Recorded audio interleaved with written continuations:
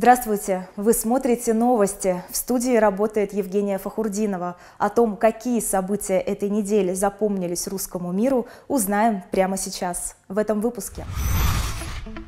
Масленицу отметили во всем мире. Специальный репортаж из Австралии и Болгарии. В Москве наградили участников проекта «Один день моей страны». 150 лет Ленину, новые образы и современное прочтение – а теперь более подробно об этих и других новостях. Преподаватели из Магнитогорска получили денежные премии. В рамках проекта «Учитель сердца школы» бывшие ученики оценивали профессионализм любимых преподавателей. Победителями голосования стали те учителя, которые внесли особенный вклад в становление и развитие школьников. Рассказать о педагогах, которые стали поддержкой на школьном пути и помогли выбрать будущую профессию. Так звучит главная цель премии «Учитель» сердце школы. Организатор независимой акции Игорь Рыбаков, президент одноименного фонда поддержки образования и семьи. Сам Игорь называет себя одним из благодарных выпускников Магнитогорской школы номер 56. В декабре 2020 года он создал целевой капитал, который теперь находится в распоряжении учебного заведения. Пожалуйста, приезжайте очно, поддерживайте учителей сердца школы, обнимите своих родных, близких, те люди, которые, возможно, открыли вам дверь, путевку в жизнь. Приезжайте. У нас ежегодная, подчеркиваю, эта церемония, поэтому, ребят, все только начинается.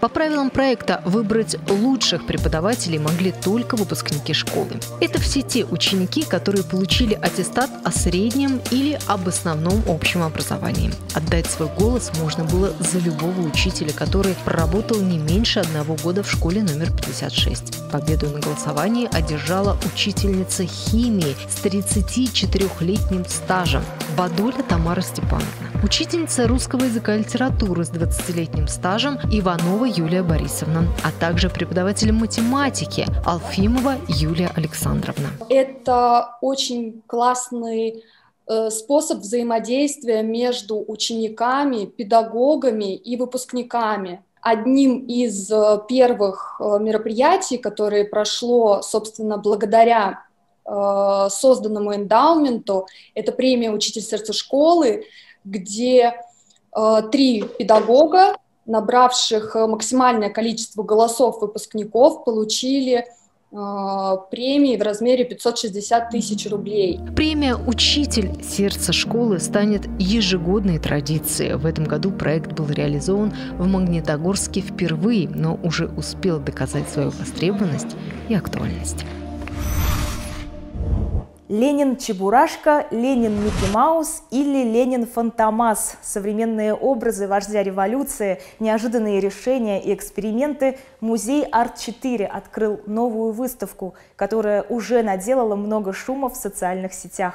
Экспонаты оценила моя коллега Полина Прокопенко.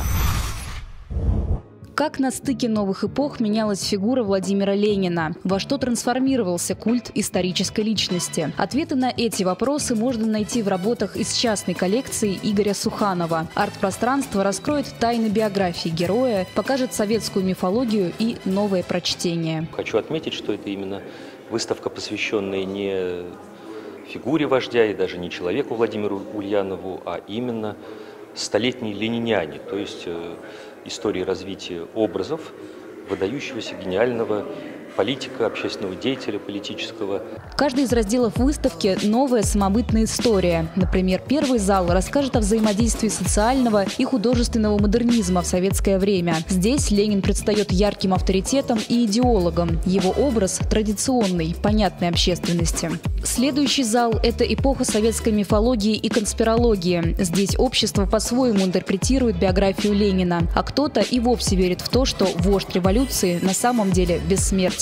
Такое комичное, отчасти абсурдное чередование образов – это собирательное представление об отечественной истории. Образ Ленина проникал в быт человека, ну, как бы не благодаря какому-то идеологическому прессингу, а просто потому, что он ну, действительно был любим, с одной стороны, с другой стороны, потому что он был везде. А, образ Ленина еще и маркировал любую вещь как советскую, одобренную, любое пространство также. В этом пространстве разделяют те ценности, которые важны для советских людей. То есть это хорошее такое пространство. В создании многих предметов экспозиции участвовали современные художники. Так, в залах можно будет увидеть работы из собрания петербургского арт-пространства ДК «Громов». Это материалы Энди Ворхола, Андрея Хлобыстина, Павла Паперштейна и других. Посетить выставку в музее «Арт-4» в Москве можно до 10 апреля. Юные исследователи и специалисты стали лауреатами конкурса «Один день моей страны». На протяжении года участники проекта готовили специальные репортажи о научных новинках, а также рассказывали о собственных проектах. Церемония награждения лучших участников прошла в стенах Государственной Думы. Более 400 молодых любителей науки и техники соревновались в конкурсном мегапроекте «Один день моей страны». Ребята рассказывали о своих достижениях, записывали творческие фото и видеосюжеты. Каждый из участников хотел доказать, что современная наука может быть интересна и понятна каждому. Работы отправляли школьники и студенты в возрасте от 13 до 23 лет. Участие в образовательном проекте помогло им не только заявить о себе, но также развить свои таланты и реализовать давние научные идеи. Сегодня фактически благодаря вам происходит э, то чудо, которое мы можем наблюдать. То, что сегодня наша наука, наша отраслевая наука плавно внедряется в ваш образовательный процесс. И вы очень активно подхватили все идеи, Награждение лауреатов проходило в здании Государственной Думы в Москве. На торжественном мероприятии присутствовал председатель партии «Справедливая Россия» Сергей Миронов. Он не только поздравил участников, но также подарил всем гостям мероприятия тематические сувениры на удачу – настоящие природные минералы. Поверьте мне, хоть я в эти вещи не верю, но то, что вытащил, этот камень принесет вам обязательно удачу. Поэтому с собой значит, девочки в сумочку, ребята в кармашек, благо они небольшие. Международный конкурсный мегапроект «Один день моей страны» был создан благодаря содействию Академии горных наук и ведущим вузам России, в том числе с участием Института МИСИС.